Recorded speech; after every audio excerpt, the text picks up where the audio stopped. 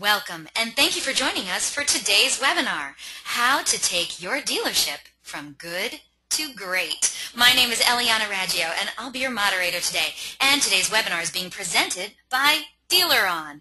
And for anyone who isn't familiar with DealerOn, well, we're an award-winning website development company and digital agency, best known for our search engine optimization, best-in-class customer service, and our award-winning websites. DealerOn was named the top-rated website provider by Driving Sales in 2011, and DealerOn customers were winners of the Spring and Fall 2012 Digital Dealer Website Excellence Awards, including the all-important overall winner. DealerOn is so committed to lead conversion, optimization, and customer service that we're the only company in the industry to offer a lead guarantee program. Leads guaranteed. So if your website company isn't guaranteeing you leads, well, then maybe you should check us out at dealeron.com. And we have such a great show in store for you today. We're very pleased to have April Rain as our presenter today. April Rain is the founder and CEO of Digital Rain Management, a consulting, training, and events company with expertise in the fields of digital marketing, social media, e-commerce, sales, and process development.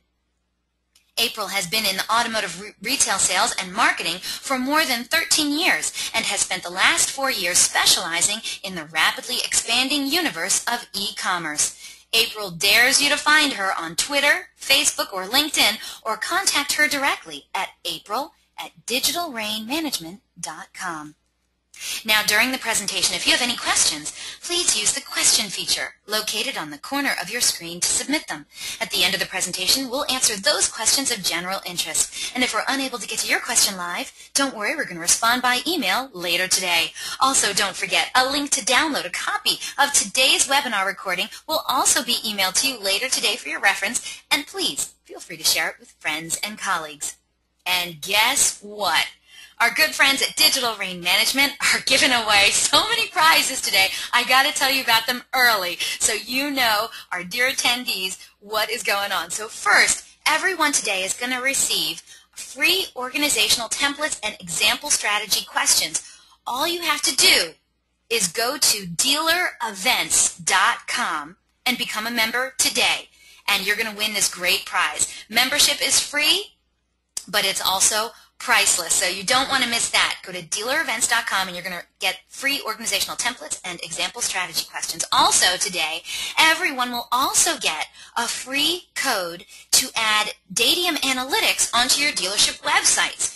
It will be at the very end of the presentation, and it is valued at $99 a month. So if you want to join more than, I think it's 8 or 9 or 10,000 other dealerships that have these awesome analytics on their website, you're going to get it for free today. You definitely want to take advantage of that. And Digital Rain is also offering one lucky attendee a free one-hour consultation on digital marketing and training. And this prize is valued at $200. It offers your dealership the chance to ask questions and receive feedback on your websites, social media, or CRM reports. You can also choose to use that time to be trained on how to read analytics. All you have to do is stay tuned and answer a simple question toward the end of today's webinar. And the first one to write in the correct response wins this totally cool prize. Also, if you could fill out a short survey at the conclusion of today's webinar, because we're always looking for great feedback from our audience, today we're also going to randomly select winners from all the completed surveys to win some Google Prizes. Phew, that is a lot of stuff we're giving away today. So without further ado, let's get started. Let's learn how to take your dealership from good to great. April Rain, how are you doing today? I am fantastic. Thank you, Eliana. Oh, April, I am so excited. I want everyone on this webinar to know that April actually presented this information, this good to great information, at a conference recently, and it was like wild, standing room only, applause, uh, you know, five stars, you name it. She got great response. And so I knew I had to get her here onto the DealerOn webinars to tell all of you how to take your dealership from good to great. So I am curious, April. I know we're learning a lot today, but can you tell everyone really quick all the different things that we're going to learn today in this next hour? Yeah, absolutely, Eliana. Thank you so much. So Uh, for starters, uh, I never ever know what to tweet. I'm like one of the world's worst tweeters. I feel like I've uh, dominated the Facebook, at least for my own personal branding. So I thought as a service to you, uh, my listeners, that I would just help you by giving you tweet suggestions. So you're going to see periodically through my webinar uh, the tweet suggestions. So if you're curious, my hashtag is April underscore rain. And of course, it's at DealerOn, and then the hashtag for this is the automotive good to great. So uh, keep, keep an eye out for some of those things. Uh, we do have a ton of information right now. So uh, one, I just realized that I wish I had more of a Moviefone voice like Eliana. So I think right after this, I'm going to work on that. Uh, I uh, have never given a uh, presentation webinar before. I used to do training webinars all the time, but this is uh, one of the first times I've ever taken a what used to be a workshop and turned it into a presentation. And one of the things that's always really helped me when I'm presenting live is I usually have some sort of like goofy joke that I'm telling people as they're walking in or, you know, teasing them a little bit, kind of as Eliana was doing with the, the chat. And then seeing people smile really uh, helps my nervousness and insecurities. So I just have to let you know, like right now, I'm just imagining all of you like laughing wildly at everything I say and your, none of your coworkers are going to think you're actually on a webinar. They're going to think that you're watching YouTube because you're like enjoying this so much. So just bear with me. I'm, I'm picturing you all doing that. So. I'll laugh at all your jokes. Don't worry. And people are okay. writing in smiley faces and laughing wildly. So I love to have my token happy person. So, well, when I first uh, created this presentation, it was meant for uh, a couple different local and, and national conferences. But then after doing this study, I ended up doing these three-hour workshops in Missouri with the Missouri Dealers Association and uh, local dealers. And when you do three hours, you really have to provide the guts of the how-tos, right? It can't be upper level. You really have to dive into how to build a strategy and how to walk away with results. Well, I had such uh, great feedback from dealers about that information that when I decided to do this webinar, I tried to figure out how could I take the best of both worlds. One, uh, give you the results of the study. So as you can see here over in the agenda, uh, we're going to go through the study of successful dealers. But then I really wanted to make sure that you guys got the digital strategy guts. Uh, I've attended a number of conferences and I'm really frustrated when you get a lot of good ideas, but then you don't really get the execution part of uh, the information. So I am going to give you plenty of tips for execution, and then we're going to end with some resources uh, for all of you so not writing stuff down. And of course, I'm going to have the thank you slide because I'm a polite individual. Eliana will remind you of the prizes, and of course, we'll be around. I'll stick around as long as you guys want for question and answer, but because I know that uh, it's a busy time in automotive right now, and uh, I don't want to keep you past our designated hour, I'm going to tear through the stuff really fast once again, remember that it's recorded. So uh, a lot of the things that maybe you wish that I stayed on that slide longer, you're going to be able to go back, look at it, freeze, print it out, hang it on your wall, put little hearts around it. okay, I'm warning everyone. Like I said, got a sneak peek of this a couple days ago. It is a lot of information. Really try and pay attention. Of course, we're going to sneak in that prize question towards the end, and we have a lot of stuff to get to, so let's go. Yes, it is going to be recorded, and it will be posted online later this evening. And I'm going to send you guys all a link to go and see it. So go ahead, April. Take it away. Okay, so you guys saw the last slide that said, why should I even be on this webinar? Uh, what started uh, that fueled this study was that from 1990 to 2010, we have lost more than 30% of the franchise dealers across the country. Now, a lot of that was brand consolidation and the loss of a couple other franchise brands, but still, I mean, that's a serious problem for one out of three dealers to have not made it through our recession. So when I started to look at that, I thought about, well, how did those dealers survive? Like the dealers that made it through, what did they do to become successful? So that fueled my study of successful dealers. I look at it this way. We could either spend a lot of time and money and resources trying to figure out what we need to do right, or we can copy the dealers that have already done it and just do what they did.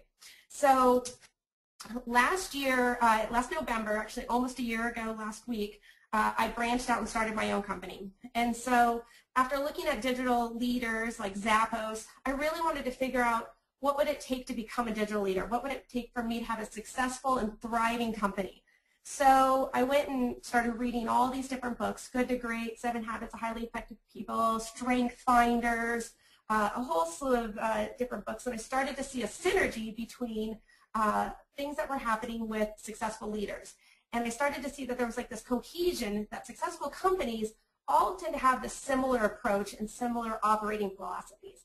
But I also know that automotive is a very unique beast, right? Uh, when people go to buy a car, it's completely different than when they go to buy any other uh, product. It's much more emotional, it's much more expensive, and they spend a lot more time trying to make their decision. So I wanted to see if all the things that I was reading and getting out of these books would pertain to all the people uh, that I knew that were succeeding online. So I started out by asking this very elaborate uh, study. It was probably about 60 questions. I let them off the hook with a couple uh, multiple choice, but it was a lot of text writing. They really had to, to participate. And uh, I know that you introduced AJ Maiden, who was on the call. I know that I heard uh, Kevin Fry on the call. And, um, and there's a handful of other dealers along with Jim Bell that all participated in this study. And so this is just a collection of the people that at least gave me permission to use their logos uh, for this presentation. So uh, I want to give you a little bit of demographics of like who we were looking at. So uh, the questions were aimed toward anybody that was the digital uh, or the uh, decision maker for their digital budget. So it wasn't all uh, uh, dealers or general managers or marketing managers or internet managers. It was anybody that was the decision maker. And I wanted to get an idea of like what type of people were filling out these surveys. So the average was anywhere between a one store to two to five stores to seem to be about what we were finding. I didn't do too many megas, not too many people past uh, 20 stores. I didn't do any um, big franchises like uh, AutoNation or Penske, mostly because I don't really think they need our help. So, and they're not the typical dealer. So I really wanted to focus on who the, the typical dealer. So after that, I wanted to see how their internet team is set up. So I was recently at Driving Sales and I saw this fascinating debate that was hosted by Joe Webb between uh, Kevin Fry and uh, Jim Bell. I'm sorry, not Jim Bell. Um, uh, oh God, Jim Jim Flint. Sorry, I can't believe I just said that. Oh. So between uh, got Jim Bell, you got me on the brain since we were talking this morning. Between Jim um, Jim Flint and Kevin Fry, and immediately when they took the stage, I was like, this is going to be a compelling argument. The argument was should a dealership be an internet dealership or should they have an internet team? Meaning internet dealership would be all the salespeople operate on an internet level and uh, so that would kind of be this pink and green bars here, all sales for pool or all sales for round robin versus an internet team or on-site BDC. They both made extremely compelling arguments. I was really impressed. Uh, but they actually, one of the strongest statements came at the end that said, you know what, no matter what you do, it's the process that you can manage effectively uh, that's going to yield the greatest results. And I completely stand behind that statement. I work with dealers that are all of these different combinations of internet uh, teams, and it's whatever you feel that you can manage. If you don't have a strong internet sales floor, then you should have an internet team. I also see throughout the country a growing need for the on-site BDC, and that is probably my personal preference because I really feel that the people that are in charge of lead management are not necessarily uh, the same people that excel at sales. I know when I was a salesperson, what I did really well was being able to build rapport, uh, talk about the vehicle, make them feel comfortable, and then uh, help them get the car that they want. Nowadays, you would not want me in the internet team because I have no attention span to sit down, answer emails, check my grammar. Uh, it's just different skill sets. So when you're looking at what you should do, look at what some of these other dealerships have already decided about uh, the way in which they're set up. So we asked uh, how many stores are the non-negotiating philosophy, and I was surprised to see that one in three dealers were the non-negotiating philosophy. I think this is a growing trend because customers are really turned off by the negotiating process. And I see a lot of dealers moving toward uh, where they remove that uncomfortable phase from the, the moment of purchase. Now, those dealerships are really what I see tending to bank on repeat and referral customers and getting the service business because they want the fixed ops, the service business. They might not necessarily be the high grossing leaders in the market. So that's a, that's a growing trend is the non-negotiating stores. So in what department is your dealership succeeding? Well, most of us want to be succeeding in the new car unit volume. So knowing that these digital leaders, they're really succeeding in the areas that they want. I also want to draw attention to the third one. They've grown their business more than 25%. So we want to know, and then new car growth uh, shortly after that, increase, and it's cut off, but it says increased average monthly visitors, and it was actually, um, I think it was more than 20%, 25% too. So they're doing what they want to be doing. They're selling cars, they're making gross, they are increasing their business, and they're getting more people to their websites. So what do you do significantly better than your competitors? This is the first time in the study where the key components of some of those books like Good to Great started to come out. And the number one thing that the dealers replied on was customer service. I'm even impressed by the next two, which is retention and transparency. Those are all people-related factors. Well, people are so concerned with being pricing, these dealers don't feel like they are necessarily the best pricing in the market. Uh, unfortunately, also, they don't also feel like they are maybe beating their com um, dealer uh, competitors in conversion rates, which we'll talk about that.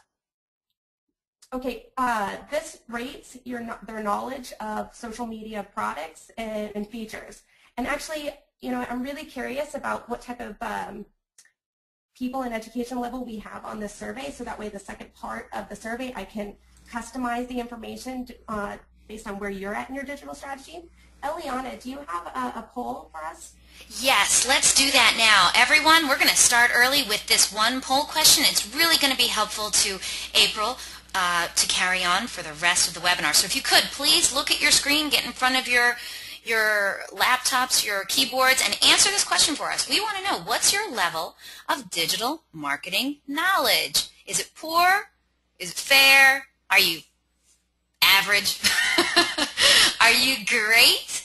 Or do you think you are excellent? And of course, if you're excellent, maybe you should contact me. Maybe you could, you know, come over here and give, give a webinar to some dealerships. But um, we want to know, are you poor, fair, average, excellent, or great? Well, I said that wrong. Anyway, what's your digital marketing knowledge? Once we get a majority of the votes, we'll close the poll and share the results.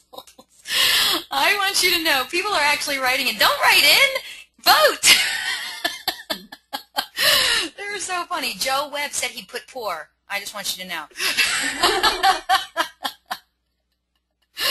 so people like you that throw off down on surveys. yeah, I know. You're like totally throwing off the curve, Joe.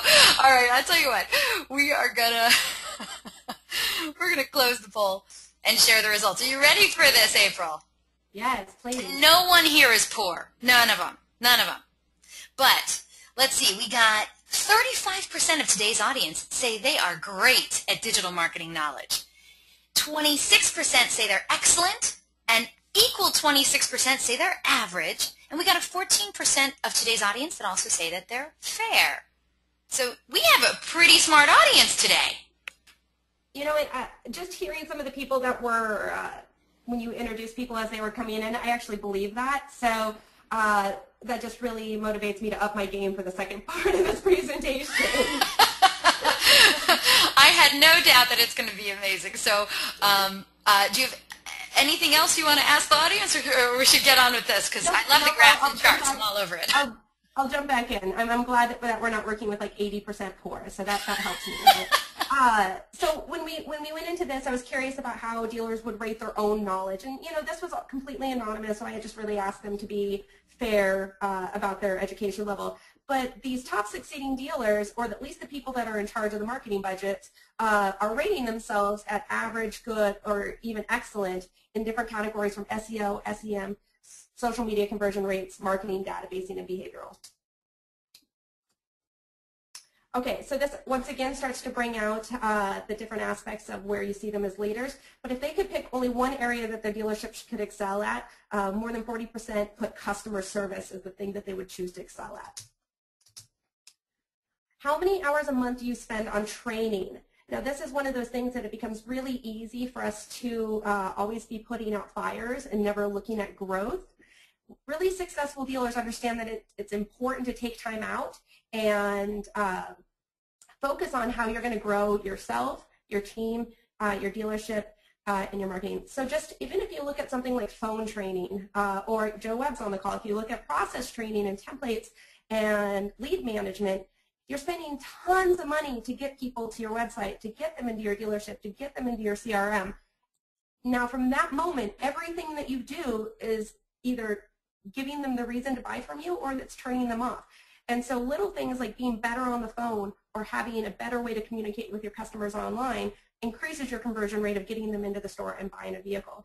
Uh, even people like Phone Ninjas who uh, help people uh, improve their uh, phone processes, sometimes uh, the uh, CEO, Jerry Thibeau, will sit in on my presentations and give me a whole list of page notes of like all the things that I could do differently to increase my results and be more effective. And each time I tried to take at least one of his tips and move that forward. And so understanding that training is a big asset of, of, of, your marketing plan is really essential. And, and some of these dealers are even doing up to 13 to 15 hours a month, which I thought was impressive. So what are they using um, as their kind of educational mediums? The highest was national conferences. Uh, now, there's of course going to be some sliding towards certain people. I know most of these digital leaders because I go to the conferences and then I meet them and then I get their email address and I send them the survey. So uh, that might have something to do with it. There could be a lot of brilliant people that never attend these conferences and I just don't, I just don't meet them because I'm obviously at the conference. So, uh, but second to that, I was really impressed by webinars. Uh, it was an, it was after this survey that uh, Eliana asked me to do this webinar, and knowing that that's uh, where the fish are, I guess that I decided to, jump on her bandwagon. Thank but you. I, it's, a, uh, it's a quick and easy way to get information. It's free. It's available. So I, I really like that growing term other than, um, you know, 20 groups is growing newsletters and automotive social sites, obviously. So this is one thing that's fascinating. What percent of your marketing budget is spent online? And I think that this is growing exponentially with dealers all across the country. I had dealers when I did advertising that had very little digital marketing budgets.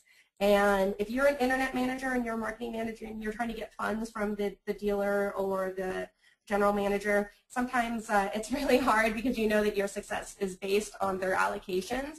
And so as you're able to make really good cases on you know, where you should be spending your money, it's easier to start getting more money allocated. And when I was with the agency, uh, that was kind of my goal, was to prove my worth. I would spend their money on certain features or products or vendors. I'd watch it, monitor it, and then once I could prove its effectiveness, then I was able to get more budgets allocated for digital. So in this survey, it was showing that, first of all, nobody was less than 10%, thank God. But uh, the highest percent of people spending digital budgets online was about 31 to 40%, but more than three-fourths were above 31%, all the way up to, yes, there are dealers that are 100% digital. Uh, one that's very public about it is Andrew DeFeo with uh, St. Augustine Hyundai. Uh, he has uh, noted last year that he went 100% digital. So there are e-dealers doing it. So how often do you review your vendor's effectiveness? Well, when I was working with dealers, it's or when I was a vendor, more say, it seemed like the dealers uh, always would review my effectiveness when they got my bill. And uh, so they would look at the bill and then they're like, why are we still paying for this product? And then that was the time that they decided to run reports and then you come in and you meet with them and uh, try to show them all the things that's working for or against them. Well, really successful dealers, they don't leave it to the after fact. They're watching on a regular and consistent basis. They are uh, anywhere from daily to weekly and very rarely annually. So having that type of focus on a regular basis allows them to be able to notice when there's problems uh, before the problems kind of creep up on them. So this is one of those nosy slides where uh, I'm just, I had the ability to ask people what's working, what's not. I was hoping that maybe I could just see what's working for people and then I could institute maybe those things for some of the dealers I work for. And uh, so for top performing tools, the number one was Carfax. Uh, so I could see what the growing uh, need to be transparent toward consumers, that Carfax is an easy tool to have uh, listed places to, to be able to have that brand confidence. Uh, second, by that would be vAuto, which for anybody that doesn't know, that's uh, to aggressively price your vehicles online so you're competitive. And then after that, this is the, probably what I took as one of the most compelling out of this, is the live chat internal, which means you do your own live chat, and your live chat outsourced. Uh, somebody does it for you. So if you were to combine those two, live chat would be the number one effective tool that's performing for successful dealers. So I have to tell you, I can see why that that's really relevant. Uh, if you start thinking about all those slides about customer service, live chat is a customer service tool. It is not a closing tool. When people are on your website or if they're on your vehicle detail pages through portals, they have not decided to buy from you. They are still in their research mode. But when all of a sudden you give them an ability to ask a question and you can earn their trust, earn their confidence, then those start to become an actual contender or turn into a lead. When I launched live chat for a portal, I did it for about 314 franchise dealers, and I really got to monitor the results, and it was um, exponentially one of the best things that we did to increase conversion from a vehicle detail page or a website. The downside is that live chat is really difficult to manage on a, on a dealership level. And so when you try to do it internally, uh, once again, we go back to that it's not necessarily a natural skill set for dealers to sit and have conversations. Companies that do it all day long, like ActivEngage, they've gotten really efficient with it, and they have templates, and they stay on task, and they treat it like a customer service tool. So I think that uh, I, I, like that this was in here for performing tools, but I would really advise dealers to look at it as a customer service tool and really think about they wanted to increase their conversion, how could they launch a live chat process uh, that's really effective. After that, I was really thrilled to see Hook Logic is a, a top performing tool. That is a, uh, it's basically an incentive tool that uh, captures people's attention while they're shopping on your own website and helps them bring them into the showroom uh, followed by Haystack, which is a uh, SEM tool that uses your inventory to uh, drive results. I even believe, uh, I don't want to surprise, ruin Eliana's surprise, but I think Haystack is uh, presenting next week. So That's true, that's true. We're going getting into that, but um, Haystack is presenting next week. Actually, Duncan Scary himself is going to be presenting, so that should be a good one too. Actually, Duncan Scary is presenting right now to a, a group of Minnesota dealers. So funny. uh, so what are the key factors to your dealership success? So like I said, I, I really surveyed and I got a number of great uh, responses, which I'll share with you too. But uh, I don't know if you guys are familiar with what a word cloud is. Word cloud is where you can take entire sentences or phrases and drop them into a program. And the program will then, whatever word was used more frequently will make that word bigger. You tend to see it a lot with like SEO uh, or um, you know different infographics and stuff like that. So after taking all these responses from these different dealers, I just kind of dumped it into this program. And the reoccurring word that came up more often than not when we asked what are the key factors to your dealership success was customer. The dealerships that focus on the customer, followed by management, leadership, service, ownership, uh, innovation, things like that. So I, I, thought that this was a, a very graphic picture of, of what successful dealers were doing. That is really cool. Thanks. uh, and then what, what was easier than putting in like a hundred different responses down? uh, but uh, what other word, uh, what others would use to describe you? So this is what other people would use to describe the Kevin Fries or the Andrew DeFeos or the Jim Bells. And the reoccurring word, if you draw, drop it all in there, is knowledgeable. Second would be leader, innovative. And just so people know that I'm not uh, falsifying these results, one dealer actually said very heavy drinker. Oh, sorry, I guess I'm a little off here. So, uh, so yes, very heavy drinker, and I actually know that dealer. He is a very heavy drinker. um, so I'm not going to obviously read through all these quotes because this is available online, but I really wanted, they took the time to answer, and I, some of these were some of the most compelling messages and thoughts. By the way, there was hundreds of them, so I wish I could have listed them all because I thought they were all insightful and brilliant. Uh, but what I really tried to do is, A, take uh, the ones that really summed up, well, I guess the point that we're trying to make, uh, but the ones that also have a, a really clear thought of uh, customer service and, and, where we're going. So one would be Jim Flint, uh, developing a strategy first, rolling up your sleeves, and going to work second. Execution beats strategy every time. But if you can do both and you have the advantage, you need to be successful. Love it. Uh, I try to lead by example. Speed of the leader, speed of the pack. Just really like that. what people impact your success? I just really just wanted to list this quote. Everyone I follow on Twitter, in April freaking rain, Jim Bell, Jim Bell, I know you're on the line, so thank you very much. I like that one. That he, put, he put April freaking rain. I love that.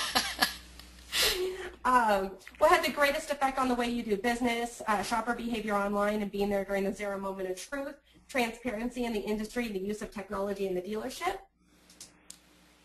And then what do you consistently do each day to drive results? Study Google Analytics and monitor if our leads are being handled effectively and I love this, even though it isn't my department. Mm. So as most of us know, uh, you know, there's a lot of different hands working uh, the kind of the same machine, right? You need good inventory from the used car manager, from the new car manager. You need the right marketing budget. You need the salespeople to be taking the leads. The marketing people don't necessarily have control over the conversion rates or the appointment set, and so it's a lot of different hands. So when somebody says something that I'm monitoring what's happening, even though it's not my department, I think that's really telling because people that really are striving for the same goal more people that can drop their egos and say, okay, look, we're all going to roll up our sleeves and pitch in, those are the people that have greater results. What bad habits do you have to avoid that are damaging to your success? I think the top one is really uh, common in our industry. Uh, a lot of us salespeople, we run around chasing shiny objects. So it's really hard for us to focus on the future because we're always focused on the now. Uh, followed by, uh, and these are aggregated kind of the, the top points from the survey of what people were answering but followed by pre-qualifying customers, micromanaging, communication, complacency, and yes, one dealer actually said smoking crack. So I guess we all have our own issues. I, I, I, pulled out uh, distractions and complacency because I just really feel like that is probably the easiest one for most of us to fall into. What are the key factors that attribute to your dealership success? Uh, I really like this one. Leadership from the top transparency, and willingness to take risk. Uh, Alan Kretsch with Walser Automotive Group recently won the Innovative uh, Idea Award from Driving Sales. It was uh, um, hundreds of dealers across the country submitted great ideas. He got picked as one of the five panelists and then won from that. So I pretty much think that if dealers uh, are coming up with innovative ideas and beating out other dealers throughout the country, I kind of want to listen to what that dealer is doing. So what aspects of the business are you most passionate about? Digital, training, reputation management, customer service, leadership, and people. I really want to emphasize the word passionate here. The reality is, is for you to excel at anything, you have to enjoy it. You have to want to do it. If anything that I've talked about today is part of your job and it is painstaking and you despise it, you're probably not in the right industry. Uh, I have people all the time ask me, is what you do really specific to automotive? And I think about it and I'm like, well, no, not really. Uh, digital marketing can pertain to any industry. And so they ask, why automotive? And I don't know if it's just that I'm some sort of weird masochist, but I love car dealers. I, I think they are some of the most honest, genuine, loyal, upfront people I've ever met. They can be very stubborn and thick-headed, but for the most part, they appreciate when somebody helps them. They appreciate growth, and they will be your testimonial and your friend and your support till the end. And so I have great passion for what I do, and I think people see that, and then that's why I have uh, some fantastic people on this webinar is, is because I think I, I emphasize that kind of passion in my work. So hopefully, you know, when you're thinking about your work, you know, hopefully you're in the right place or, or maybe get out. So why do dealerships fail? This was an aggregate of all their responses, but the, the most reoccurring themes were greed, ego, laziness, fear, lack of customer service, inflexibility, and unable to adapt. I think this is kind of the key here. I think that the people that are not willing to move into uh, a digital day and age, those are the ones that are going under. And so what is your definition of a successful dealership? I just really want to pull out, you know, consistent, repeat and referral business, one that doesn't focus on, one that does right by their employees and their customers, not just focuses on short-term profits. Has good customer services and continuous improvement. Great things. So in summary, successful dealers really focus on customer service, and they're really knowledgeable and they monitor their results. Okay, great. How do they do that? it's, all it's all well and good to know. Now how? Well, to be honest, they start with a strategy in place. We're one of the few industries that just starts running around doing things without having a plan. If you were building a house tomorrow, uh, you wouldn't just run to Home Depot and start throwing things into your cart uh, and then throwing it in a big pile and trying to slap it together. I mean, maybe I would, but for the most part, that's, it doesn't have a really good process in place. Uh, you would you would make a blueprint. You would sit there and say, okay, this is what we need, this is the resources, this is what we have, and then you'd start moving forward. So let's look at what a blueprint entails. How to become a successful dealer in three easy steps. If infomercials have taught me anything, if you say the word easy and you make it only three steps, then people will buy it. Okay, so how do you uh, create a digital strategy and become a leader? Well, one, you have to start by getting organizing and prioritizing. Uh, for example, you know, whenever I have to help my husband clean out the garage, you go and look at it and you're just overwhelmed. You're just like, oh my God, where do I even start? So you really start by pulling all your things together, looking at it, just making a plan and deciding what you're going to do. From there, you need to be able to monitor, benchmark, and review. You also need to know your technologies. It's super easy for uh, the decision makers to say, oh, the internet guy's got that.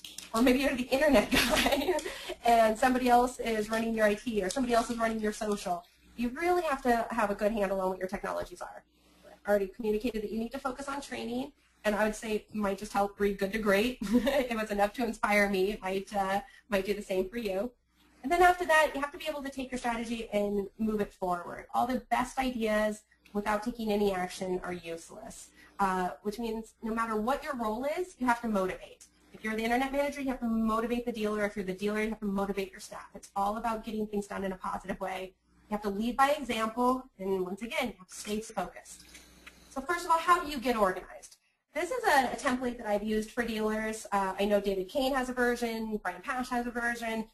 You don't need to buy anybody else's template. I even said I'll give it away at the end of today. Uh, you can also make your own. This is Excel. It's not any fancy software. But just your CRM doesn't tell you everything you need to know. In fact, it tells you a very small piece.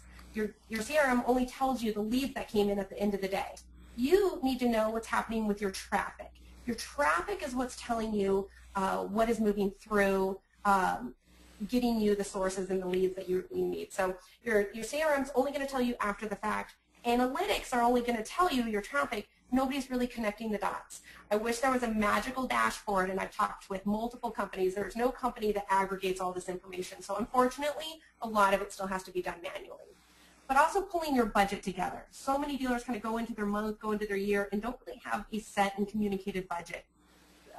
You want to be able to sit there and say, okay, great, I've got a great, you know, I want my customer, my cost of customer acquisition to be X we want to sell about X amount of cars, which means we need to spend about X amount on advertising to achieve that. And then you need to monitor to make sure that you're getting the results from each of those areas.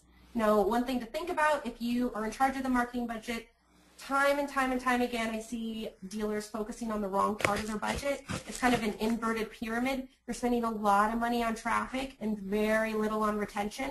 Retention has a higher close rate and gives you a lower cost of customer acquisition and more dealers spend more money on traffic than they do getting their own customers back and through the door, either through service or leases or uh, expired um, uh, financing, things like that. So look at your budget and make sure that you're allocating correctly to your repeat referral business. And uh, just so, if I could stop you real quick, are th is this part of the free organizational templates that you're giving away to everyone today? Yes. Ah. So this is this is an Excel that so the three slide the three next slides is an Excel that I created to help my dealers get organized, and uh, it also comes with a um, an annual budget to organize your annual budget. So yes, that's this is what I would be giving people. Okay, just want to remind everyone you got to go to dealerevents.com and sign up for a membership to get this stuff. It's awesome. Thank you so much, April. Sorry. Yeah, of course. Thank you. Uh, second would be organizing your vendors. A lot of the times they're written on post-its and have cards all over the place. Being able to have all your vendors in one place makes it really easy. Uh, another thing that really kind of sucks the time out of a day is having 20 million vendors show up and try to talk to you or pitch you or go over your reports. Uh, when I did marketing for dealers, all I did was um, I put all this, all their vendors on a schedule. And so I'd say, you know, okay, great, cars.com is here, Edmunds is here. And then therefore it kind of frees up your time so you're not being bombarded by people. The second part is you'll see like maybe about six uh, columns down, uh, report portal. So you actually put in the URL to your landing page, whether it's you know AutoTrader or Edmunds or your Facebook page. It makes it really easy for you to maybe once a month, once a week, to click on those and just look at your branding real quick. Just sit there and say, okay, great, what are we doing? Uh, does it look right? Is our phone number correct? Is our map correct? Is our inventory correct? Are our pictures correct? It just saves a lot of time. So you're able to stay efficient and work on your branding just really quickly, uh, as frequently as you need to. Reputation management template, it's really difficult to stay ahead of your reputation. So putting your reputation all in one place to sit there and say, okay, great, this is what we're doing. This is the point person. I say point person because a lot of people like kind of do that crossed fingers approach where I thought he was doing it. I thought he was responding. I thought he was watching Google Alerts. So I think it's important that you'd say, okay, great, this is what we're doing, this is the point person, this is how many reviews we have, this is uh, the login and password, because sometimes when those people leave, half the time people, dealers can't even log into their own Google account to be able to respond. I know so that. having everything in one place and well articulated is really key. Okay, so how do you build your strategy? Well, basically, this is what I do for dealers when I start working with them. I pull all the decision makers and the support people into one room because it's key that everybody agrees and everybody's looking at the same things. The dealer, I, I was reading this book, uh, so many decisions are made by the hippo, and the hippo is the highest paid person's opinion. So uh, there's a lot of times that the, the dealer owner may not always know the best things for the store because maybe the internet manager really understands the, uh, the lead report, but everybody needs to be on the same page. So I pull everybody into a room and I start asking them a series of questions. And basically that will determine what our weaknesses are, what do we need to fix, what are our areas of opportunity. So basically, you all you have to do is ask yourself what you need to fix, and then you need to fix it. So we ask questions like, are we managing our inventory? Are we buying the right vehicles at the right price? Are we marketing our vehicles correctly? Are we addressing our online analytics? How are we doing compared to our marketplace? How are we doing with our staffing? Are we adequate staff? Uh, is our staff trained to engage the online customer? Who is responsible for management and implementation of our digital goals? How effective, are, effective is our technology? I hate to say it, I probably have about a couple hundred questions that I ask dealers when uh, I really do a deep dive because I really have to understand their business for me to understand what I need to fix. So that's what you want to be doing for yourself. What do we need to fix? Based on your answers, you guys start to make a checklist. Great we need to look at our staffing, we need to do this, we need to do our marketing, we need to maximize our conversion rates, and you start making your, your goals, your wish list, your checklist. And now half the dealers would just take that checklist and like just try to go do it all at once. And then they would burn out, and then they become alcoholics, and then they don't live anymore. So.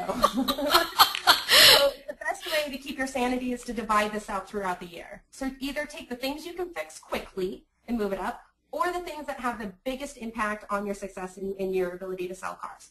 And you move that to the front. And you basically say, okay, and you have to look at your year. So if you're making this a January through December calendar, you need to be able to say, okay, great. We have the most time, say January, February, or December. You don't want to be launching a new CRM in the middle of July because when you're really just trying to focus on sales and conversion rates. So look at your year and see when do we have the most downtime and some of the bigger more tedious projects at that time and sit there and say, okay, well, here, we're going to take some of the easier products. So, for example, I would put most of the aggressive training during the summer because that is when you want people at their sharpest and, and, and doing the best with customers, either online or on the phone or in person. And then once you have all that information, you've filled out your template, you've run your reports, uh, you have all of your vendors in one place, you have your action items, and you have your annual calendar of how you're going to address things, literally, I go to, and actually there's uh, one of the dealers on the phone, Nick Anderson, I, he can attest to this. I went to Target, I bought a red notebook, and uh, I put all of their information in it, and I make them, I pinky promise them that they have to keep that right on their desk because it gets so easy to be very ambitious, very motivated to have a great plan and then completely forget about it and dismiss it. So what I do is I, before I leave the dealership, I make them schedule a monthly review of their digital strategy. And all the people that went into making this process and the checklist, they are all held accountable to attend that meeting. And they have to sit there and say, okay, great, what did we decide were our areas of weakness? What were we going to do about it? Did we accomplish that? Yes, no. Do we cross it off the list and we keep moving forward? Did we add new things? Did something change? Constantly update your list, but stay focused on it. So the second part was digital customer service, right? So when you pull all your information together, you're organized. Well, those strong, successful dealers really focused on the customer. And so now that we know that most of our customers are online, how did they achieve great customer service? If you look around at big business right now, you're going to see that some of them are doing it really well and some of them are doing it poorly. There's lots of brick and mortars that are going under and there's lots of brick and mortars that are thriving, like the Best Buys and the Targets. They've really been able to figure out how to transcend uh, the digital customer into a live experience. So how do you do that? You listen to the digital customer. It, uh, it is no longer about what us, the, uh, the, the company wants. It's about what the consumer wants. And so you ha really have to fight. We, do we want high grosses? Yes. do we want to hide the information and make them come in? And maybe, maybe some people want to do that. I don't want to do that. But uh, it's no longer about what we want. It's about what they want. So you have to listen to what they want. You have to create surveys. You have to secret shop. Have to monitor and respond to reviews. You have to be watching your social media conversations. Uh, you have to engage the customer. How do you do that? You do that with easy site navigations, transparent pricing, clear vehicle descriptions, live chat, convenient mobile site layouts, and a great, enjoyable experience. So how do you do that, and how do you know what consumers want? Well, they tell you with every click. That is their way of saying either you are building my trust or you are turning me off. So at its basic, the things that you should be monitoring are your visits, your unique visitors, your page views, duration, bounce rates, referring sources, and conversion rates. I recently went to a conference in San Francisco. It was a search engine strategies conference outside of automotive. And uh, Google's chief evangelist steps out. And he's kind of geeky Indian dude. and so at first I was like, oh God, it's 8 in the morning. I'm thinking I'm like way too tired to be watching a, uh, a session or a keynote on analytics. Well, he walks out and he just starts with this very loud and energetic and boisterous um, voice saying that web analytics is entirely about customer service. And of course I freeze because I just got done doing the survey and I'm trying to think about how to put it together in a presentation and now my eyes are open. I'm like, really? so I'm like, okay. So I actually got that book. That's the proof of me getting it. And I actually read it. Uh, if anybody knows me, for somebody to watch me read a 300-page book on analytics, nobody would ever, ever bet money that I would do that. But I did. And I really got to see what he was talking about in regards to how analytics will tell you what your customers like and what you don't, and if, uh, if you're really building that kind of brand and trust. It also plays in line with uh, one of the things that I've read um, that's echoed in my brain for uh, probably the last three or four years now. I had a, a, a dealer that uh, basically had said he's an old football coach, and he told me, uh, April, I don't know if I'm winning if I don't know the score. I thought about that, and one of the very first analogies in this book says, you're, basically you're driving in a car, going down, you're driving, and the windows are painted black. So you can't see outside your car. But you look at the speedometer, and it's reading 75 miles per hour. So you panic, and you think, oh my God, I'm speeding. But then somebody starts to scrape away that black paint, and all of a sudden you're in a NASCAR race, and everybody else is going 200 miles an hour.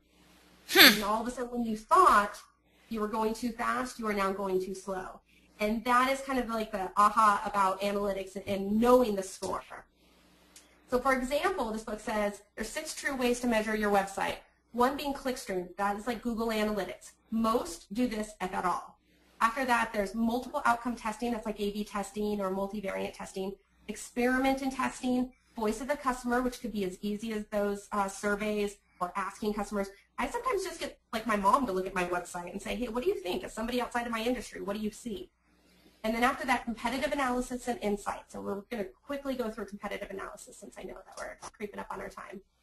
So one, you need to know what's happening with your own website for you to uh, even understand how you're trending. So lots of dealers that sit there and say, okay, great, I've got 6,000 unique visitors. Well, that's great because the national average is 4,500. Okay, that's good. But is it still good if its competitor has 8,000, 10,000? It's not. The other thing is, is you have to look at your unique visitors in relationship to your page views uh, and your searches. On average, it takes somebody visiting your website two times before they take action. So you want to be watching your ratios to how many people are coming to your site, how many new people, how many repeat visitors, and how many uh, searches and, and, page views are happening. You also need to watch your de detailed vehicle page. You want to know that you are getting your vehicles in front of the right people X amount of time in a month and watching that trending. So if you always take a dive at a certain time in the year, there might be something that has to do with your market specific. It might not just be weather conditions or inventory or OEM stimulus. So understanding your own patterns is going to give you a bigger picture. Also being able to address the right customer at the right time. Uh, for example, this is shopper's profile. That very first one shows that there's a shopper that was in the market for 42 days and he's been to your website six times before you submitted a lead. Now, if you don't sell that customer a Ford F-150, you are just not a very good salesperson. that person is obviously very interested in buying a vehicle if they've been to your website six times before they submitted a lead in 42 days.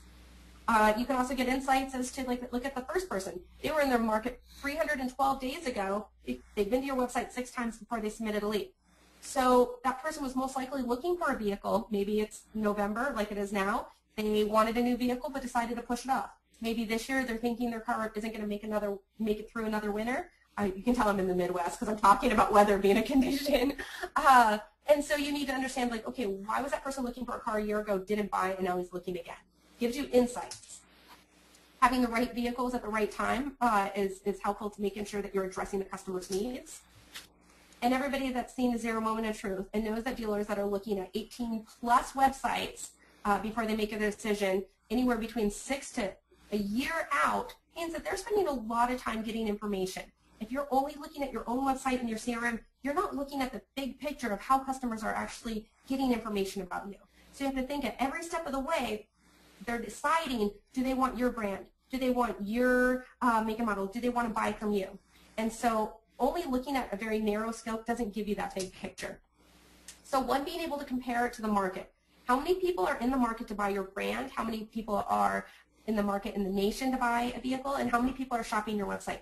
How are you doing? In, in this regard, you can see the blue is the dealer, the red is the DMA, the yellow is the brand, and the green is nationwide, which means this dealer is killing it nationwide in nationwide comparison. You can also see in comparison to his DMA, he's killing it, and compared to his brand, he's killing it.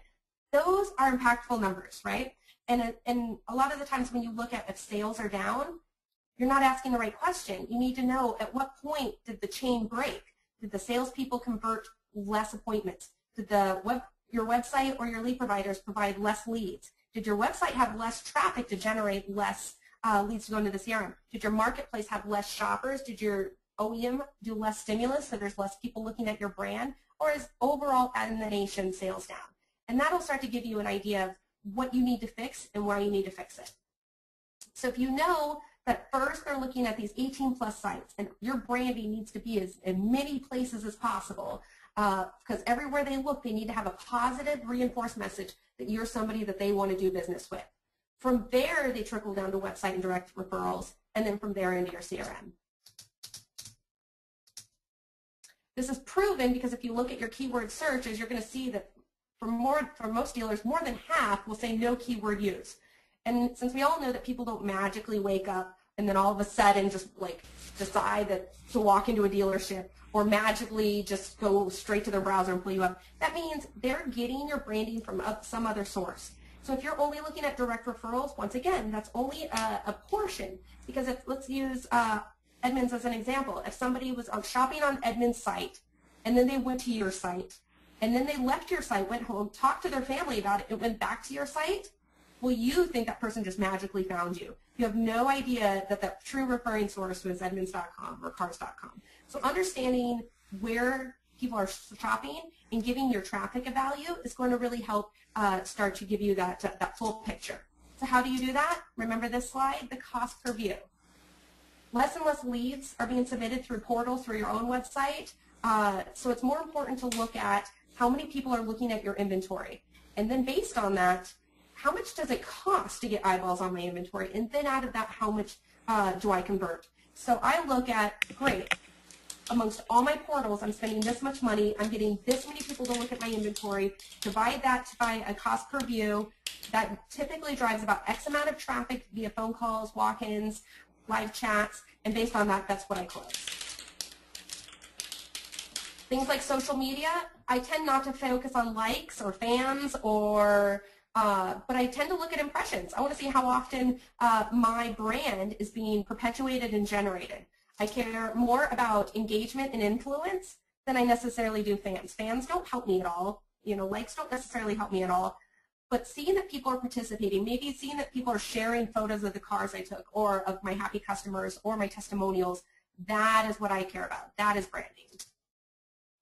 So uh, I want to be able to give you guys some of the places that I go for information there's no real like degree in automotive digital marketing. It's not like you can go to Harvard and get like an MBA in digital marketing advertising for automotive. Not uh, so yet. Not, not, yet. yet.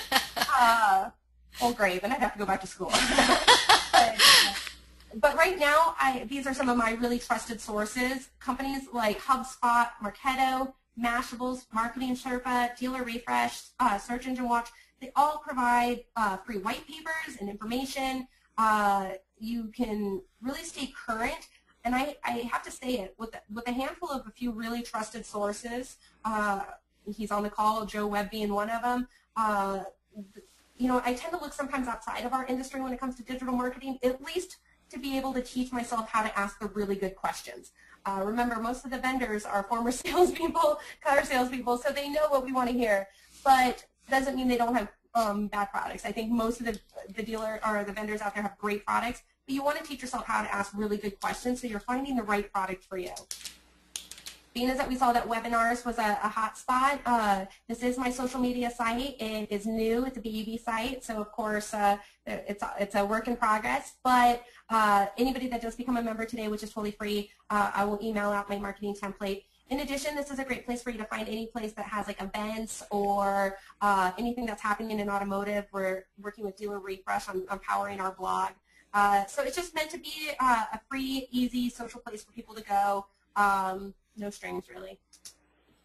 Uh, and then always keep growing. Uh, always aim for something new. Always see what's uh, on the horizon. Just this morning, just this morning, you guys can even see it. It's 8, 10 a.m. and you guys can go back and look. Guy Kawasaki posted this tweet. 10 professions most and least likely to employ, psychopaths. and so I clicked on the link and there's this book, The Wisdom of Psychopaths, what saints, spies, and serial killers can teach us about success.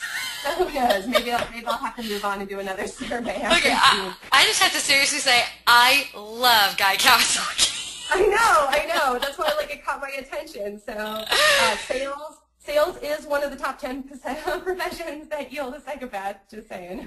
Wait, most likely or least likely? Most. most sales, sales because we're so charismatic and kind of crazy. if anybody knows me, they'd probably say, anyway. Oh yeah, psychopath okay. in the making. Got it. what a smart one. and, and stylish too. So fabulous. right, right here. So nice. Uh, and I really like this quote. To succeed in life, we must stay in our strength zones, but continually move outside of our comfort zone. So with that, I want to thank everybody for letting me uh, rant for about 50 minutes, and I hope that this was somewhat useful. And uh, I think Eliana is going to move on to a few other things, but I will stay on for any questions. April, that was fabulous. Thank you so much. My God, I told everyone there was a lot of information here. And we're not done yet, too, because we do have some really, really pointed questions coming in from our audience. But I do want to remind the audience that uh, Digital Rain, of course, is going to be giving away so much stuff. So we're going to start right now. First of all, I want to remind you the free organizational templates and example strategy questions. They are priceless. All you have to do is go to dealerevents.com and sign up for a membership that's free anyway, and you're going to get those sent over to you. The Dataium analytics, oh my gosh, they, they just tell you so much. So uh, I think at last count, Dataium is somewhere around nine or 10,000 dealerships uh, that have these analytics. And so it really helps you gauge what your dealership is doing compared to everyone else. It's really, really fascinating stuff. It's $99 a month. She's giving it to you for free. Hello. Well, so, technically they're giving it away. okay, they're giving it away. Either way, um, there's the code right there. It's D dash rain. could you have a cooler name, April? Seriously, April Rain? Really? I can buy one. That's, uh, that's, that's way up there. Okay, so if you want to get those analytics, there's the code right there. You go to Dataium and then enter that code, and bam, you got it all on there. Oh, look, people are already writing in thank you. Now, we are now going to give away the big prize, which is one free hour of digital marketing consulting and training with April Rain herself. This is a, a prize valued at $200. And with this, it's going to give your dealership a chance to have April go through your current digital marketing strategy and check out your websites, your social media, your CRM, or you can use that time to get trained on how to really delve into the analytics. And either way, you're going to be helped immensely. All you have to do it's pretty simple. I'm going to let you know. It's pretty simple. All you have to do is be the first one to write in the correct response to the question I'm about to ask. That's all you have to do. First one to write in the correct response is going to win this totally awesome prize. So get ready. Get in front of your keyboards. Here we go. April, you ready for this? Do you have anything else you want to say before I try and give this away? no, no, you got me all hyped up. Now I'm anxious. yes, the correct response, Kevin. Okay. Here we go. Okay, here's the question. First one to type in the correct response or, or closest to the right answer, let's say, is going to win the prize. Here we go. Ready? As of 2010, how many franchise dealerships are in the United States? How many franchise dealerships are in the United States? We have lots of answers. Oh, somebody has, we have a winner. We have a winner.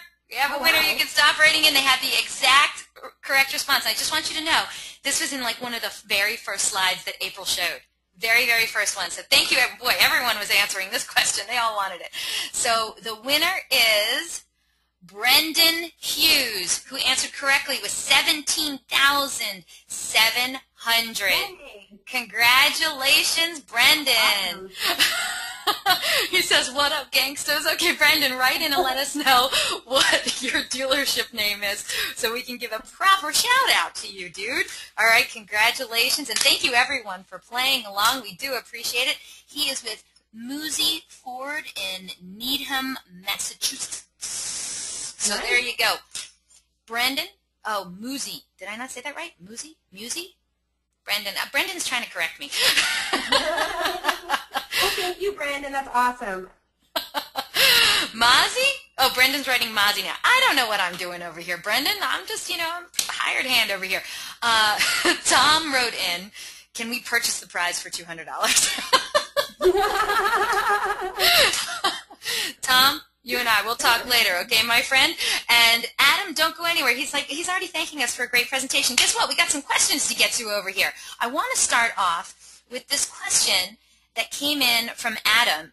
Um, he came, he wrote in early, early, early. He wanted to know in one of the um, earlier uh, graphs that you had wrote in, Adam wrote in, are you measuring CSI or online reviews when you refer to customer service? So uh, that's a great question, Adam. So this was all perception based by the dealer. So when they were talking about things that they excel at, it's all perception, right? So we've obviously, it's not like I could go to his dealership and then see if I obviously experienced great customer service and then I could say, you, sir, do not have great customer service. You, you marked incorrectly on my survey. So it's all based on perception, which is, is a little bit of the kind of the point. You want the philosophy. So I'm sure those dealers hope that they are doing as well of a job with their CSI, their reputation management.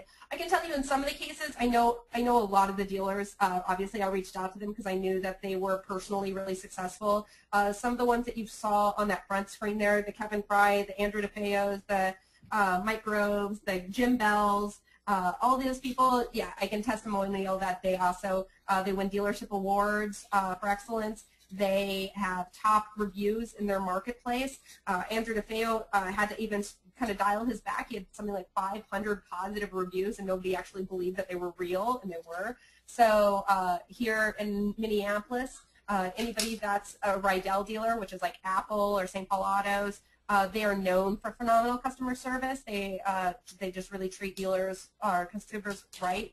Uh, they even have mottos like uh, we never take advantage of a customer even when we can. And those are just some of their internal uh, mottos. So I hope that I hope that answered your question. and of course, Adam, if you have a follow-up question, please write in and let us know. Next question comes to us from Bill. Now, uh, uh April, I warned you. My customers, they don't pull any punches. They are going to ask you the tough questions. Bill is uh, is already starting. He and by the way, I want you to move the slide over to your your mugshot slide. Your pretty mugshot. Look how pretty April is. Okay, Bill wants to know how do you leverage a customer service strategy in branding and marketing? I mean, seriously, could he get any tougher of a question? yeah. Um, um, so, you know, we, we went through a lot of information really fast, and obviously each part of these have multiple aspects of it. But a customer service strategy really starts with one, like I said, the transparency of it. So when we sat there and said that as people are moving moving through the research portal, every place that you are has to have a clear, concise, and positive message about who you are. So if you have to think that if they are on um, if they are on Google, obviously it's the reviews. If they're on your vehicle detail page, there's so many things there that can instill trust and confidence. One, being clear pricing. Two, being easy contact information. Uh, three, being maybe your testimonials are listed right on your vehicle detail page. Uh, multiple pictures, videos, live chat. All of those things are saying, hey, look, we care about you, the customer. We want to make it easy for you to get a hold of us. We want to give you all the information so you don't have to hunt for it. Uh, if there are, if you have video testimonials, people love to be able to see uh, kind of the, the from the, the mouths of babes, like, you know, who's saying what. Look, there's actual people that said positive things. Uh, in the social media realm, uh, it's important for you to at least have a nice message, kind of uh, like an elaborate about us. I don't put massive emphasis on social media strategies in the sense that, like, I don't think you should spend all day on it but I think that that is where people are at, and I think that showing your customer service in all aspects of your marketing by just giving the customer what they want, and that tends to be just make it easy, make it convenient. That's what we all want in life. I'm a mama too. You make it easy, you make it convenient, you save me time, and you're helpful and polite, you earn my business. So uh, if you want more of an elaborate answer, I can go on, but give me a call. Bill already wrote in, love you, April. And uh, he says it's important that dealers hear more about this. So absolutely agreed. Bill, thank you so much for the really fantastic question. Let's move on to another fantastic question from Adam. He says, what if your salespeople don't know how to source their walk-in or phone-up customers? this goes back to when you were saying um, uh, earlier in your presentation how uh, people, how dealerships were only um, concentrating on spending money on the traffic, but not on the follow, you know, on the on the current customers. Mm-hmm. I think you were saying that. So that's around the same time when he wrote that in. Okay, so uh, you know, just kind of quickly to reiterate, you know, when I did marketing for dealers, or I guess I still do, uh, I do more education now, but when I was really responsible for their budget, I never got a nice little report that said, here's my walk-in traffic. Uh, you know, I think dealerships always want that goal. Uh, from what I hear, the future will be fencing, where um, everybody that has a mobile device, when they walk through a invisible fence set by the dealership, they will be able to, to monitor all the uh, cell phones that walk through. Uh, so maybe in about like five years after we get through privacy laws, we'll be able to track really accurately floor traffic. But for right now, I hate to say it almost doesn't matter the source. And this is going to sound horrible, but here's why. Uh, if I know that I am consistently spending money in these places, and I know that that means it's yielding this many people looking at my inventory via vehicle detail pages or via reviews or via Facebook. And I see that it takes me so much time to get X amount of people to look at my inventory. And then my typical conversion of that branding, it took them, you know, looking at Edmunds and Auto Trader and Cars.com and Facebook and YouTube and the OEM sites and the enthusiast sites and KBB and all these different places. After I see that I spent this much money to get this many eyeballs, that generally yields this many people coming to my website or coming into my store. If you track this long enough, you aren't surprised by the outcome. You know, I spend my money here, and here's how it changes the different aspects, as long as you're also monitoring your lead to close from a salesperson, because they're kind of the wildfires. Uh, everything from a marketing can be really uh, uh, systematic. Salespeople are still salespeople, so you can kill your entire conversion rate by losing a top salesperson or adding a top. So but monitoring all this will always tell you where your weak link is. Agreed. Thank you so much for that. And Adam, certainly if you have a follow-up question, please write in and let us know. Let's move on to the next question, which comes to us from Andrew. Andrew wants to know, how can a dealer track their analytics comparing to other, I'm going to guess to other dealerships, to brand, national, etc.? Is that in Google? So no, it is not. So those screenshots, all those screenshots are Dataium. Uh, and, and Eliana said that they were on about eight to nine thousand dealerships. I actually recently talked to Dataium, and now remember, each dealership can have more than one website. I think they're on fourteen thousand actual websites. Whoa, um, that is a lot. also they're also getting all the analytics from Cars.com, soon to be Edmunds, uh, and a couple in, in all Nissan. So they have a lot of uh, OEM relationships. So they're getting vast amounts of data. So there's no way that Google can have unless they have comparison sources. You know, I'm I don't work for Dataium. I don't get anything from Dataium. They're not a referring partner. They don't pay me. What I get out of this is that uh, I get insights. They allow me to give something free to people. If I'm going to use their screenshots, then it's kind of mean to charge them if I'm going to use the screenshots. So I want you to be able to have those analytics for free. What they get out of it is obviously more data uh, and, and more dealerships to be able to compare against. If you're already a DealerOn client or you're already a Nissan, you're probably already coded. All you just need is access to it. Uh, so no, so that those market comparisons go toward um, our Dataium screenshots. Google does not give you that. Gotcha. And and like we said earlier, grab that code, put it on your site, and start getting the answers that you really want to know about, right?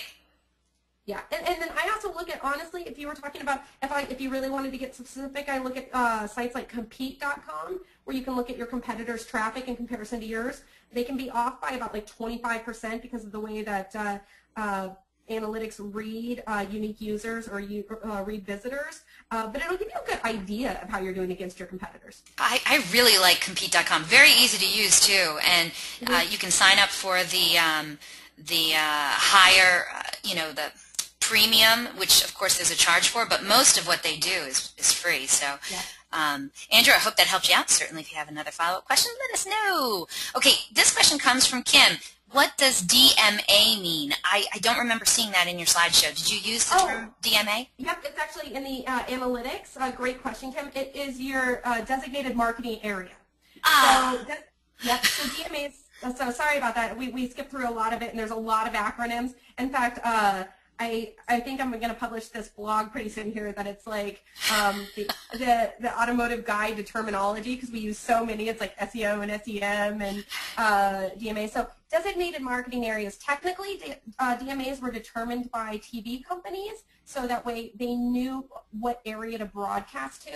So DMAs were divided by um, Nielsen Company for uh, TV but now we still tend to use it so we can uh, determine what your general marketing area is. Oh, see, now I knew what PMA was, and I was like, oh, so it's kind of the same, right? Yeah, DMA is like more the official term for like your your designated marketing area. Uh, so, and like I said, it's it's typically based on the, the guidelines that TVs had certain broadcast reaches to, uh, based on like their their satellite. So. Ah, well, Kim, I hope that helped you out. She already wrote in thank you. How about that? Okay, our next question well, it's not, I don't know if this is a question, it's more of a statement.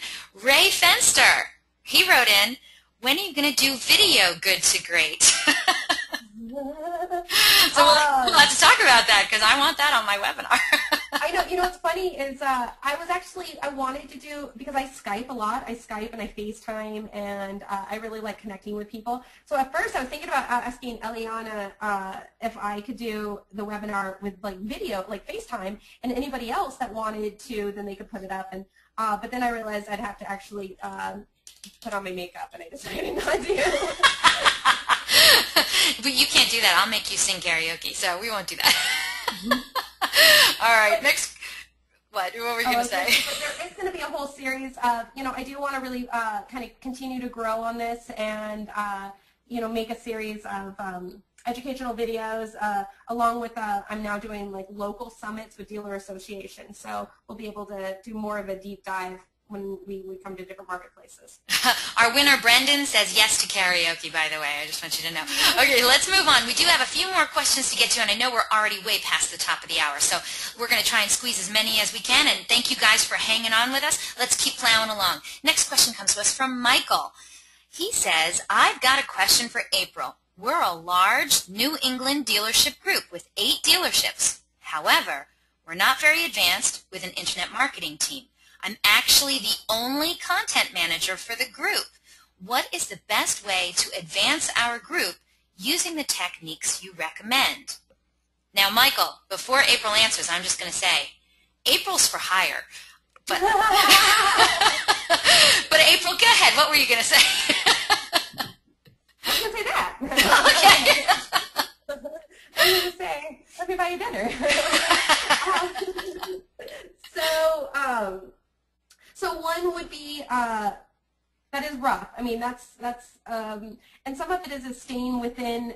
You know, we say you should only take so many leads per internet manager. I mean, some of it too is is you know I did all these summits where I'd ask people like, okay, you know, tell me what who you are and what you do. And so many people were like, well, I'm the internet manager, but I also take the pictures and, you know, run the lot. And, you know, like nowadays, we're trying to operate entire businesses on such little resources.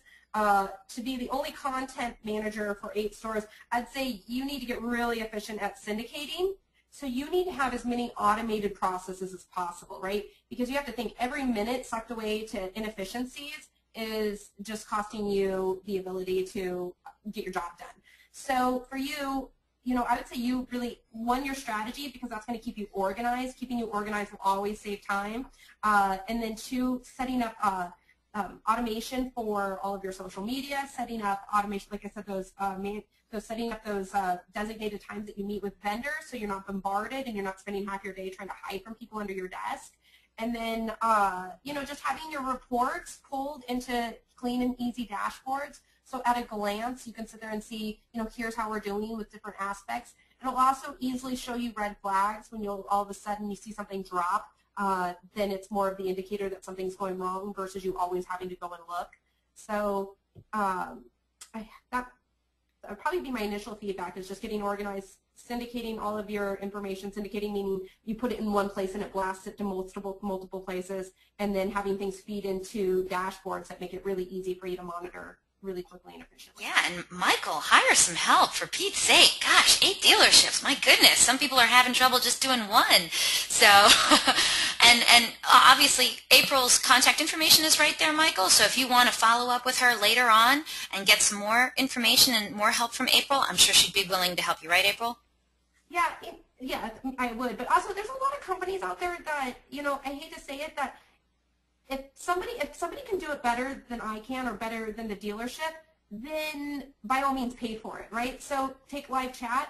If you know your salespeople are not going to be good at chat and they don't have the time and the resources and you don't have the ability to manage it, outsource it. Either do Contact At Once or ActivEngage's uh, BDC.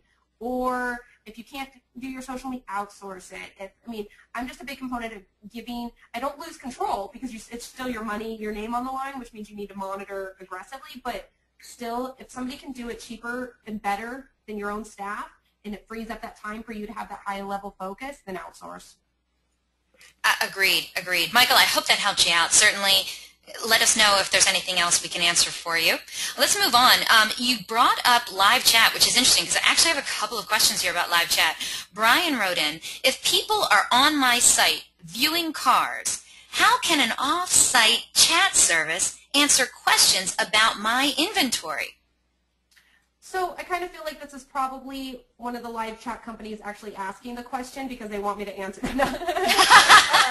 so there's, there's a whole series of very typical questions, and that's one of them.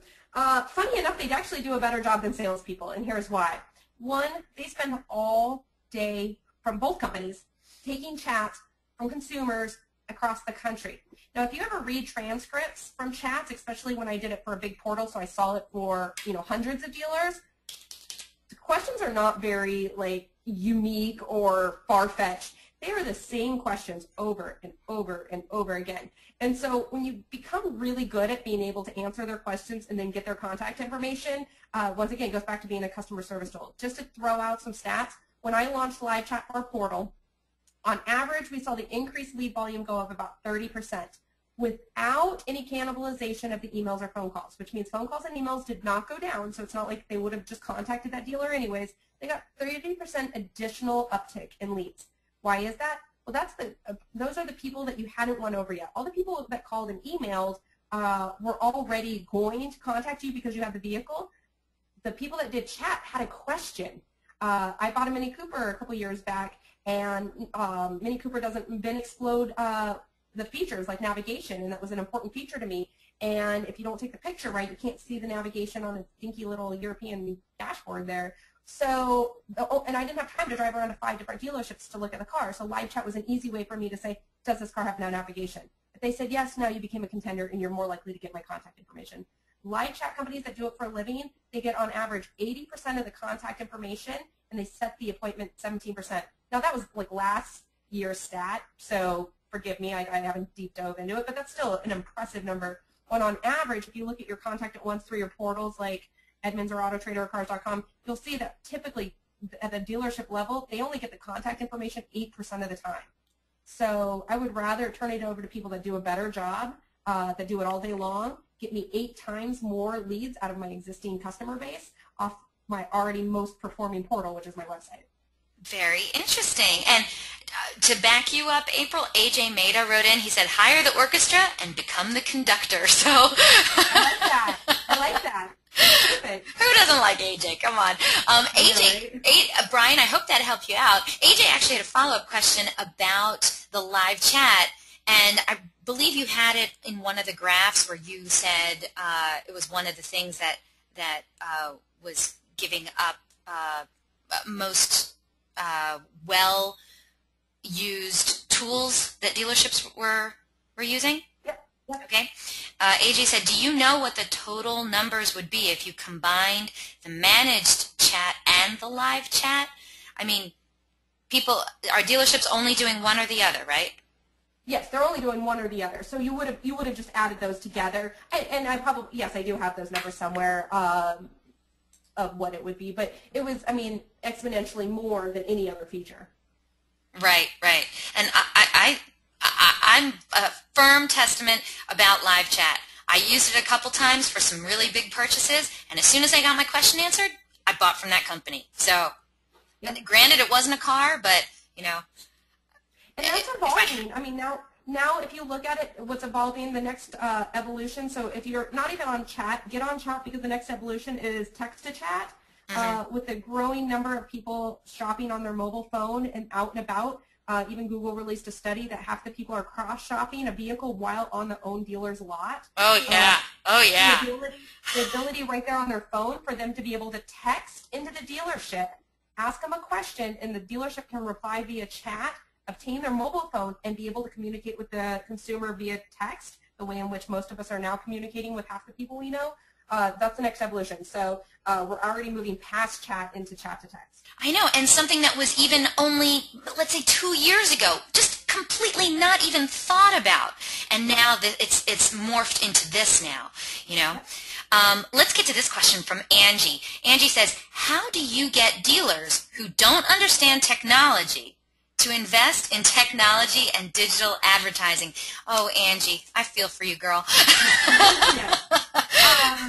there are still those guys out there who really believe that the newspaper is still the best way to go. I know there is. so, so Angie's common problem is so typical. In an ideal world, Angie's sitting next to her dealer right now, right? And they're both watching this together and they're both able to have like a great dialogue over the importance uh, but she's got a battle, right? So that goes back to, you know, internet managers and marketing managers need a budget to be effective. They have to sell their dealer, dealer principal on uh, on that fact. So what I found to be effective, because I have when I took a, when I was doing uh, digital marketing for the agency, I had a lot of very traditional dealers, like very good. Like one didn't have an email, like didn't even have an email. Oh my gosh, are you serious? right? They're all physical meetings, all I, physical meetings, right? I don't understand. Are they literally sitting behind their desk saying, ah, this fad, the internet, it's going to pass? you know what happens with a lot of us, remember about the passion part? You have to turn fear into passion, right? So the first time I logged, uh, somebody talked to me about analytics, I was overwhelmed, really overwhelmed. And then I looked at it and I was like, oh, okay. And I clicked on some buttons and nothing, no catastrophes happened. And then bit by bit, I was like, oh, this is kind of interesting. And then it was kind of like fun to see if I did X, what would happen. And then then I got really curious, like, okay, if I do this, how is this going to affect this? And then what started as a, phobia, a fear, turned into a passion, and now I'm wildly interested about what happens. So I had a very traditional dealer here in Minneapolis that was primarily traditional marketing. And basically, you know, I just had to use my sales girl tricks, right? Like I had to basically, that sounded bad. Say salesman tricks. Um, but you're, you're selling them on the ability to be successful. And they need to have faith, right? So there's a couple components when you're addressing a dealer. One, you need to show them, I hate to say it, what their competitors are doing. So one, hey, look, our competitors are here and here and here. Our competitors have this kind of website. Look at our website traffic compared to their website traffic. We're not winning. So that's one. Dealers are very competitive. Uh, it's still a very competitive industry. So you got to appeal to their sense of buyer, right? Like they do not want to lose. So that's one in a gentle way without saying, hey, look, this isn't my opinion. This is just fact. They've got 5,000 monthly uniques. We have two. That's a, that's a true statement. The second part of that is having confidence, right? So when you come in, especially with vendors, they're like, oh, well, I think I'll be able to get this many leads, or you should be able to do this. I mean, Eliana started out her presentation that's like, if you want double the website leads, you better call Dealer. Like, that makes me go, oh, God, I want to call Dealer. I mean, there's a conviction there, right? And they're able to back it up with a number. So when you talk to the owners and GMs, you have to sit there and say, you know, okay, look, this is what we need to do. This is the plan. So that process, that strategy process, a lot of them want to feel like it's not like willy-nilly. Like they're not just throwing money out the door. Because a lot of dealers do. They're like, we're going to try this and we're going to try this. And then they don't truly know how to monitor it. And then they don't give it enough time. So for them to be really effective, you need to come in with a plan.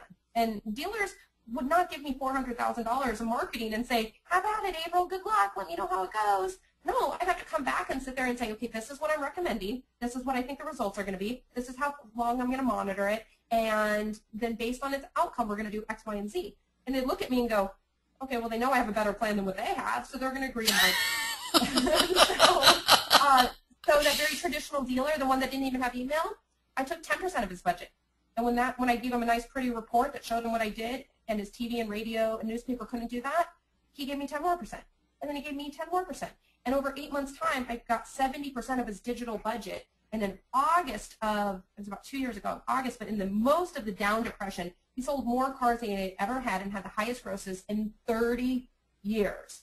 Mm. And when mm. that, when that guy hugged me, like I totally felt like I was like, like accepted by like his ad or something, right? Like I was like, so like, you did it. I proved it. I made it worth it. He had a good month. He saw it. You know, so I just had to use, I had to systematically tear down his phobia and fear of the unknown and, and take charge and show him how to succeed. Yeah, and, and Angie, believe me, you are not alone. I have a lot of people here writing in saying, Angie has the same issue I do. I, I can't wait to hear what April says about this. You know what I mean? So, Angie, I, I feel for you, but I agree with April. They're numbers, guys. Those dealers, if you can show it to them in the numbers, I think you, you can win this over. You can win them over. Yeah, I really numbers do. and conviction. Numbers and conviction. There you go. And a plan, of course. so good luck, Angie. I'm pulling for you, girl. Oh, Angie also says she's a Nissan dealer and the Dataium info should already be on our site. How do I get it? Yeah, isn't that right? It's on all the Nissan sites, right? It is on all Nissan sites. Uh, so all you have to do is uh, contact your uh, whoever runs your website through Nissan and ask them for access to your analytics. And if you have a problem with that, email me. I have uh, an email from Dataium that kind of walks you through it, but that, I think that that was their last response. Just contact your Nissan website provider and ask them for, and what they'll do is you'll just go to like, it's called the Visicon website, and you'll just like log it in and you'll get it. Excellent, excellent. Thanks, April. Okay, next question comes to us from Seth. Can we get a PDF of the slides here today, or will it be posted on dealer events? Thank you for asking that. Uh, so at some point, I will make this entire presentation available. Uh, just recently, uh, it was viewed by NADA, uh, uh, NADA University, and there's some discussion about us turning it into an NADA workshop. So before I make it 100% public, like right now, this entire recorded version is available uh, with DealerOn, and so you can obviously go back and watch the video and you know take screenshots or whatever you need to do. Uh, and I'm more than happy to answer any of your questions and send you whatever you need. Uh, but at the moment, I'm trying not to make it public in case we decide to uh, present it at NAD. That, and if anyone, if there was any reason not to make it public, that is a darn good reason. But yeah, don't. Excited by that. don't worry, we're going to have the recording posted later on today. It'll definitely be up tomorrow for you to download. I'll be sending you the link later today. So, Seth, thank you so much for your question. Michael wrote in, what would you say is wait? Would you say it's more about ROI with chat, or is it more about customer service? Hmm. So it is absolutely a customer service tool. Absolutely. Right. I totally agree. Thank you, April. but with that said, but with that said, uh, you could you can technically make it a lead discussion if you were trying to position it to a boss. So for example, when I was trying to talk dealer, if I wanted dealers to do live chat and they absolutely put their foot down and said no, and here's here's a here's a thermometer. If your salespeople suck on the phone, they're going to suck at chat. That just seems to be the, the true statement, right? So pick your battles, right? First, get really good at phone, get really good at email, and then worry about chat. So, sounds sounds legit.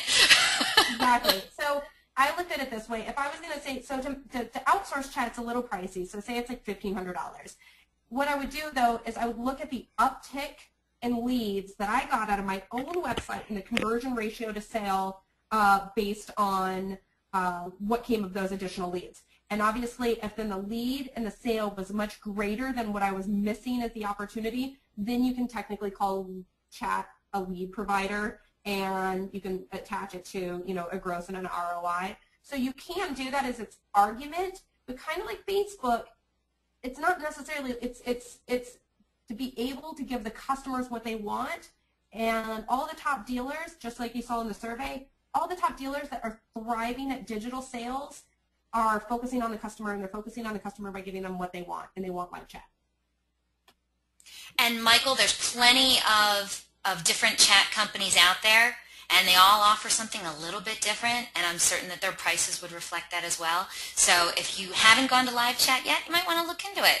I think there's some really good companies out there. Uh, he's already writing in telling me who he doesn't like, so I don't want to say the name.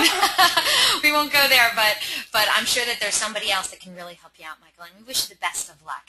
And um, AJ, our friend AJ wrote in when we were talking about the uh, text to chat or chat to text. Um, he said you can also reverse the text to chat as a way for your customer for your service department to commun to communicate with customers. That is such a great idea, AJ. Thank you so much. Yeah, that is a great idea. There's, it's unfortunate that we haven't gotten good enough. I, I, in fact, I'll probably follow up with AJ and hear more about his processes.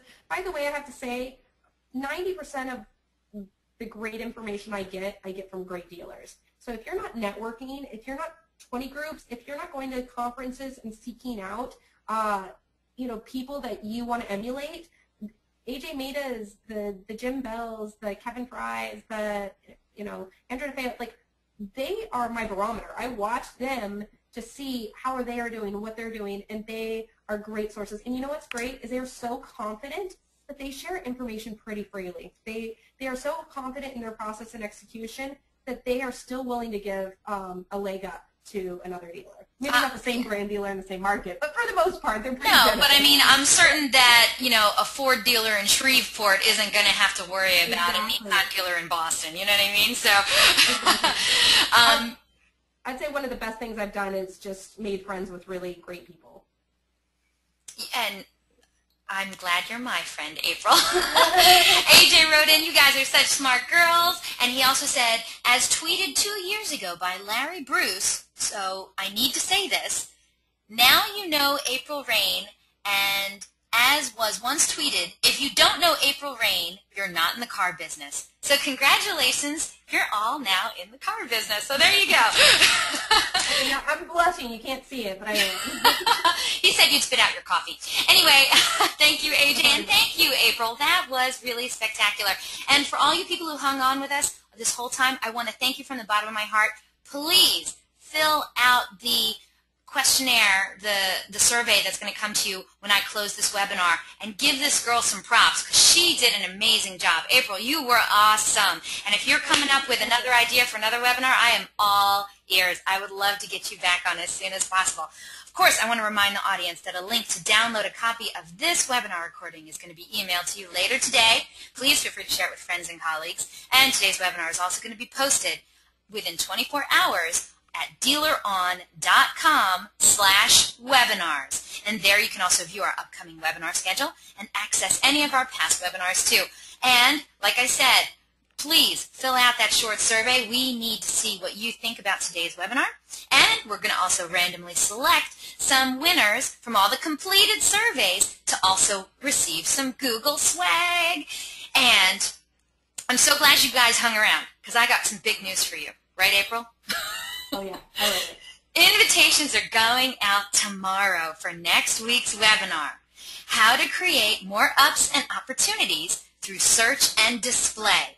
Duncan Scarry of Moore and Scarry fame, and also the current CEO of Haystack Digital Marketing. He is going to share the most cutting-edge, effective, and profitable digital marketing techniques, including remarketing or retargeting, and the very latest advancements in display.